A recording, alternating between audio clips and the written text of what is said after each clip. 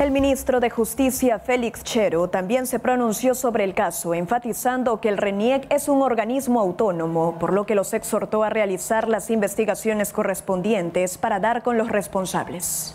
RENIEC es un organismo autónomo como es el Banco Central de Reserva, ¿sí? como son eh, varias instituciones que están en el Estado y que tienen su propia estructura, su propia dinámica de trabajo y en la que el presidente, los ministros no intervienen ni interfieren. Entonces, estos organismos autónomos deben tomar decisiones correctivas.